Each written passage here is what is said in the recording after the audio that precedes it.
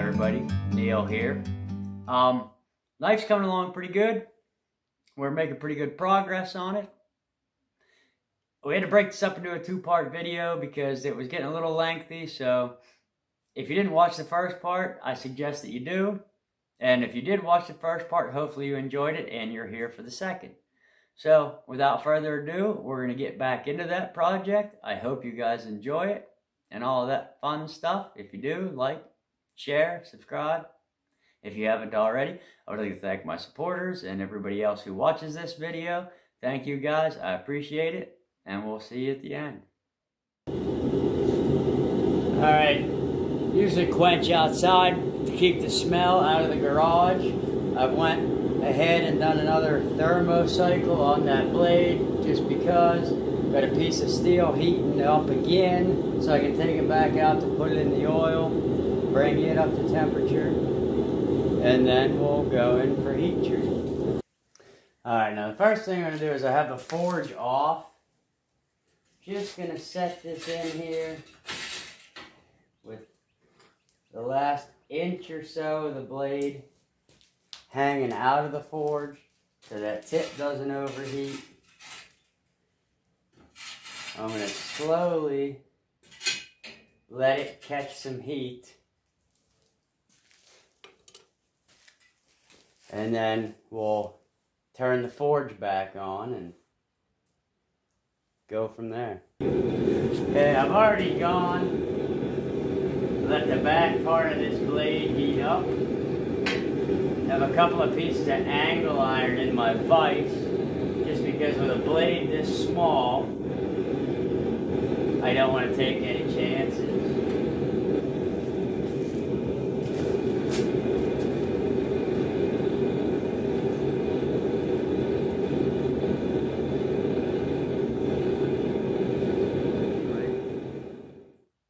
There she is, fresh out of the quench. As you can see, dead straight. I don't know how well you can tell. Edge is still in line because it's not always a guarantee. Especially if you have your bevel started, you clamp it in that angle iron. And I've had it before where you pull it out and where your bevels are because it's thinner, twists one way or something, but your spine stays straight. Now, I haven't file tested it yet. I was waiting to do this on camera, but there we go. All right, so what I'm going to do is just get this cleaned up, run it across the 220, which I like to keep worn out belts for that kind of stuff just to knock this scale off. Because scale is pretty hard on a new belt. Plus, why throw the old ones away? They still work, especially for wood. Anyway. All right, so this 220 is already on here. And I'm just going to give it a quick cleanup.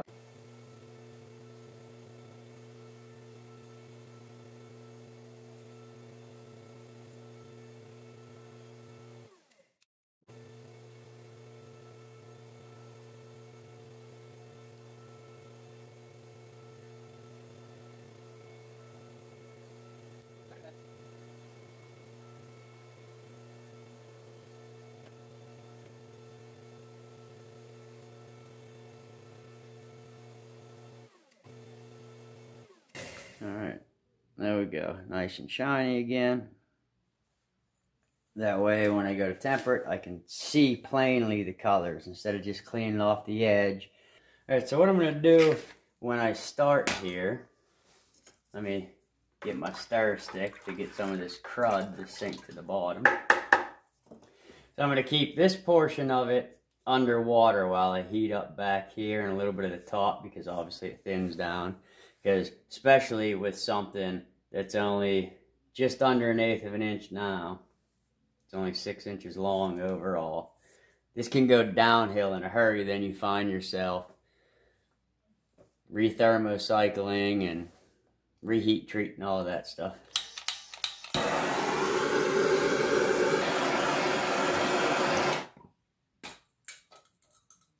Alright, so wipe this off here real quick. There you have it. You can see a little dark here, but it's not a big issue. And then, I don't know if you can see the color on the rest of it or not. but we got a light straw all the way from here down. All right, so I got a piece of zebra wood. I've cut a piece off at three and a half inches, take it across the bandsaw, rip it in half. That'll give me plenty for the scales. Unfortunately, the blade on that one's thin, so it travels a lot. Because if I had, could rip it down this way, I'd actually be able to get four sets of scales out of it. But it is what it is. I look forward to trying this. Evan sent this to me, it's been well over a year ago, and I haven't used any yet. Okay, so I've gone and cut that block down, and then ripped it in half, run across the planer real quick. Just gonna touch it off an 80 grit to clean it up a bit. We'll get on to drilling holes. I'm not gonna use my respirator on this one, just real quick.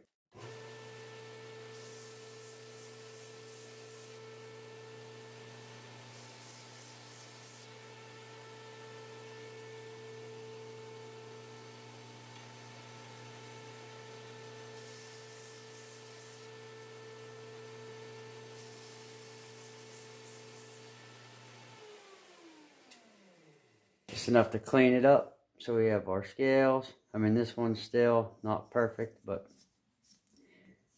you know, just to show you a little bit of the process without having to make this video any longer than it may be already. So, once I find said knife, which now for some reason is magnetic, picks up all the trash. Go ahead, set these on here. Drill these two holes through, set my pins, to hold those in place, which I'm going to use, where to go? Eighth inch brass, and I'll bring you back when that process is complete. Alright, well there we have the handle, the pins. Obviously it's going to need to be shaped. Now the one issue I have is take the caliper, and I have another one too that's more precise, is this pin is eighth inch. It measures eighth inch. An eighth inch drill bit does not. So I had to go to, I think it was 930 seconds. So there's a little bit of travel, which I'm not particularly pleased about. But what we'll do, take these pins off, pull out this handle, there it goes again, as usual. If I pick this pin up off the floor one more time, I think I'm going to set this whole thing on fire. And there goes the other one. Okay, I'll give it one more time because I really don't want to set my scales on fire. Anyway, I'll take, put a dab of super glue between the two and get to shaping uh, the way I want on here. In the picture, it's going from here to here. We'll do that. Get that shaped up so these match all the way around. Get them back on the knife and then finish the grind. And clean them up from there. Okay, so between the oscillating drum sander and my belt sander, we're getting there. These are the two blocks still super glued together. I take my pins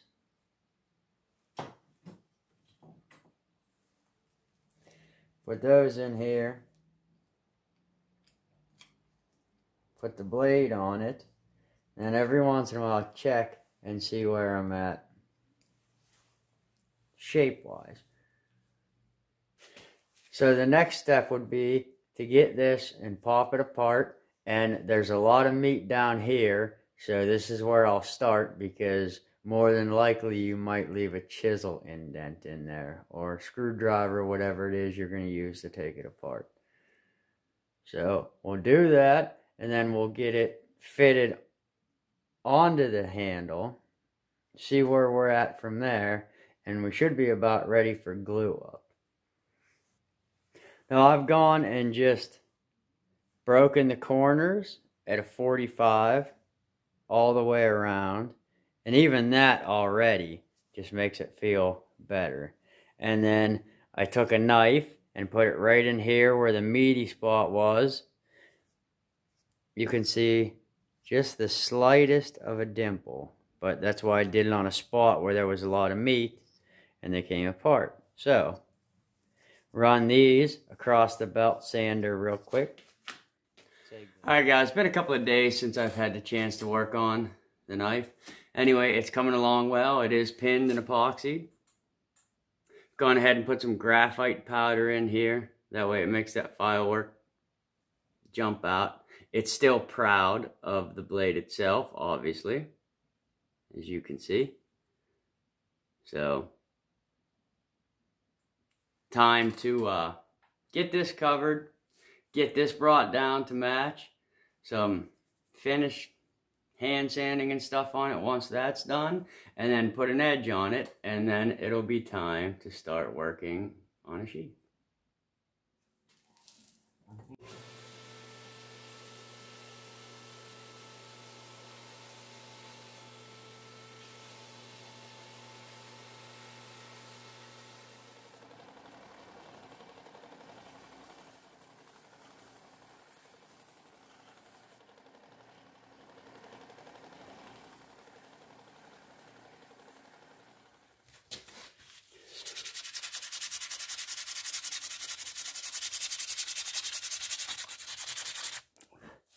Already done most.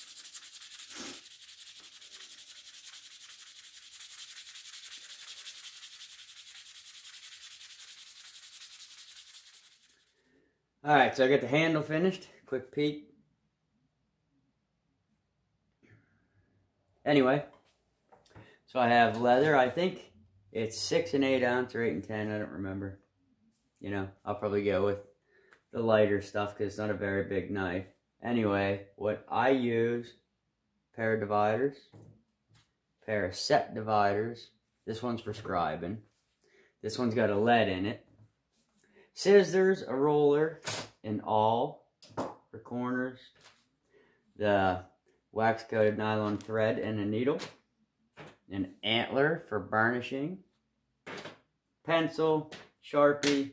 I usually just use the disposables some leather dye, conditioner, leather cement, contact cement, whatever you want to use. And uh, my favorite, a fork that I flattened a long time ago for poking my holes. And then I'll take a 64th or maybe 364th drill bit to drill out my holes. That way threading's easier. Who wants to sit here and, you know, struggle with thread and needle all night when you can just easily go right along two minutes on the drill press. Alright guys, so I've got that pattern cut out. Just take and fold this over. This is going to come down for a belt loop. Put a notch in here to kind of follow this curve. I've also cut out a, I do not remember what they call this. Put this in here, in between the two. A little bit of space and keep that blade from coming through and cutting your stitching. So what we're going to do is take this, get some of the uh, contact cement ready to go, put that piece on here, put that one, we'll tack it in a couple of places, and then we'll get to drilling. But we're going to do first is go over one side of this with, it's over there somewhere, the fork and the awl to make my lines for the stitching. Sorry, I'm bumbling. I don't know. You know, it's been a while since I've done some leather work. Actually, last time I did any leather work was my sheath. First sheath I had made. Came out pretty good, I thought. Knife wasn't bad, but I really enjoyed the leather work. And I enjoyed doing it too. It was fun. Anyway, we're going to carry on. See what happens. Alright, now, like I said, what I do is the fork here and the awl.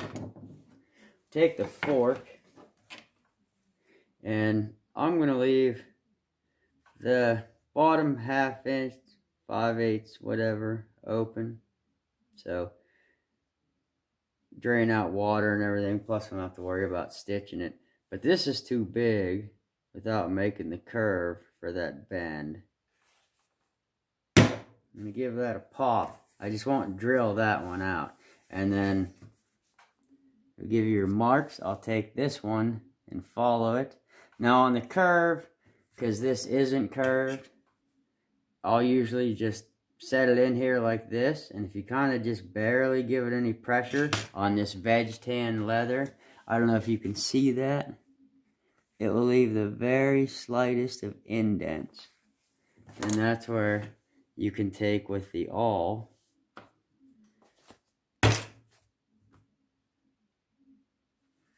You can even you can use your hand really. To try to keep up that curve. That way you don't get that box look. I'm going to continue on. So here's where we sit now. This one's about ready to have its holes punched and drilled. Now, usually I'd punch my holes first, but this time I'm going to punch them and then just drill right through all three both sides in the welt. I remembered what it was called that time. So that's going to be the next step. Get my trusty old fork here. Get started up on the top. Now, I don't want to get going. See, that's the problem. Once you lay it this way, you can't see. And when you lay it here, you're on your sides. But veg tan isn't really that bad. So even if I were to just go like this, I'm sorry, you guys can't see. So even if I were to just go like this and push, you can see the four indents. And then I can go over it with the awl. Now, if you are going to do that, and even if you have a regular punch, it's good to put your first prong into your last hole. That way your spacing stays proper. And again, you can just give it a push and do the same thing. This has a very slight curve on it, so I don't have to worry much about it. Now you can see we're slowly making the dimples on our way down. And if something gets out of line, that's what's nice about not stabbing it in there because once you get it wet to start wet molding it, you finish it and stain it and stuff, eh, you won't even know. So this is where we're at starting to get pretty late. I was hoping to have this done yesterday, actually, but that didn't happen. I was hoping to have it done tonight, and I could have if I would have just paid a little more attention on that one. But I didn't, so here we are. I just... Alright. I know it's dark out. It's getting late. My lighting sucks, but I don't have two needles, so what we're going to do is the single needle stitch, which is just in through the front, next hole in the back, pull it tight, next hole through the front, just keep alternating holes as you go, not alternating, but you know, when you come through the front, you go into, I'm sorry, I'm not holding it where you see it, come through the front, go through to this next hole. Pull it tight, and then in the back, in through the next hole, same thing. Give it a tug. I always like to put my finger here just to keep it from coming loose because sometimes it'll do that.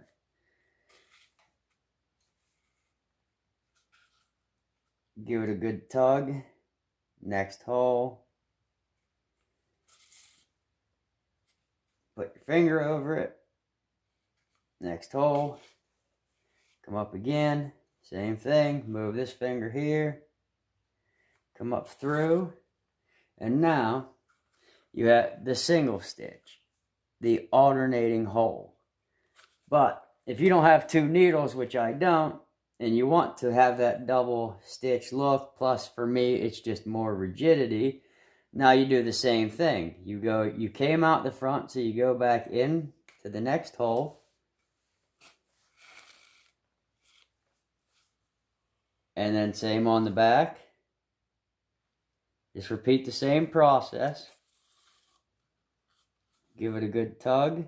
Let me get a couple of these done here real quick for you. Now see, and that'll give you that saddle stitch look. Now see where the single stitch, now when you start down here, that's why it already looks this way. You don't want to start on the end. You want to come in and work your way backwards and then forwards. That way you can lock in your thread. But see the difference between the single stitch and this gives you that double saddle stitch look. Which isn't hard. I mean, you want, sit here and watch. Don't take long. Give it a tug in through. And this is why I like to drill mine with the 3 64th inch drill bit. Because it can get hard to get that needle through it on a regular basis.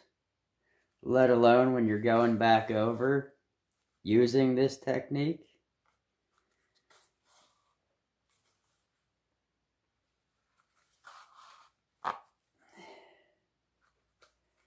Oh, look what I did. I heard it come out too. This is where things get interesting. Alright, I got enough thread anyway, so come back to a portion that's still got plenty of wax on it. You want to twist it with the rope, flatten it with your finger. Now, I had a needle threader with all my leather stuff here, and I found it on the floor about a week ago and put it back and now it has disappeared again. So, I don't know what the deal is with that. So, back on track. Now, what I'm gonna do here is come in across the back, cut this one off. Now, first thing I'm going to do is lay this over. Now remember, this is wax covered nylon, so just barely touch it with the lighter and they'll stick. So, find where you were at, which was here. So I needed to come back in this hole.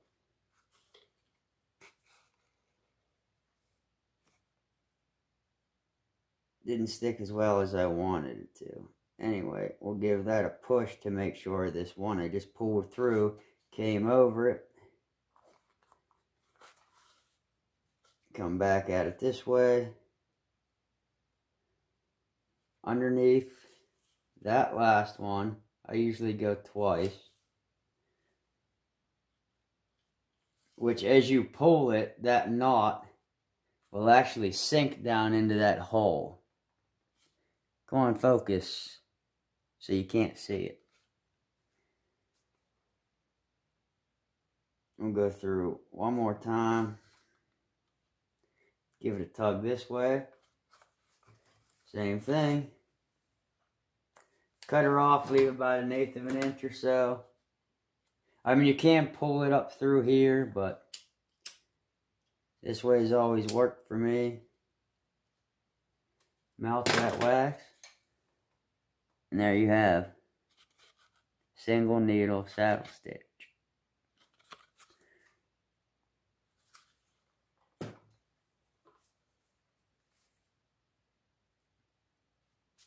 Oh. Now she's going to fit tight. And that's kind of the point here. Is we're going to wet mold this to fit. There you have it. Now, the biggest thing you want to do is make sure that when you cover this with plastic, plastic wrap, whatever it is you're going to do, that it's tight. Because, you know, you don't want it to. This isn't sharpened yet. That's the only thing I have left to do to it is actually put that last touch on it to make it a sharp knife. So, wrap this all up in saran wrap.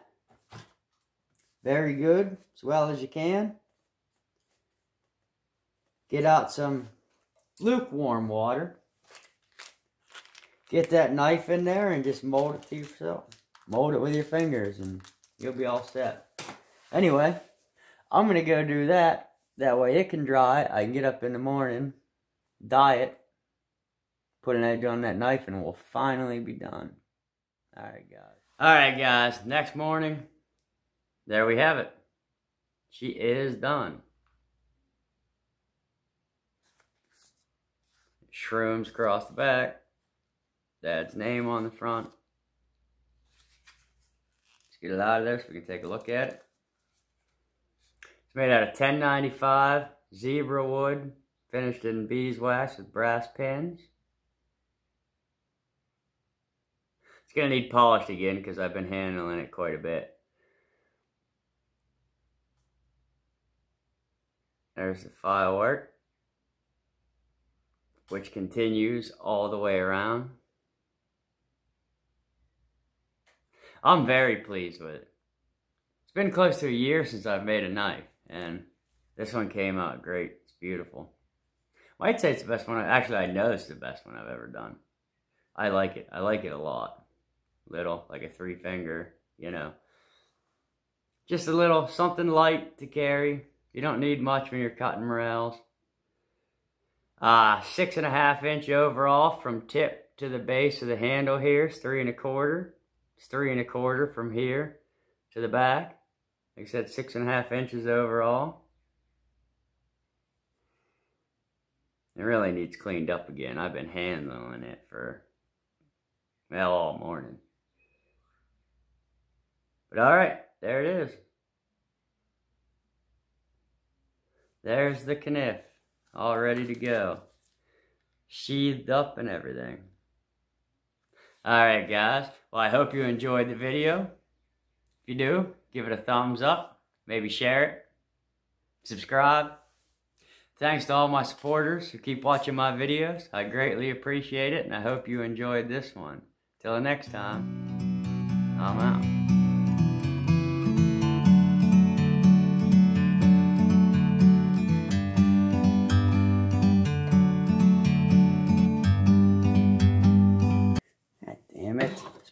Time pissing around with this camera than you do anything else.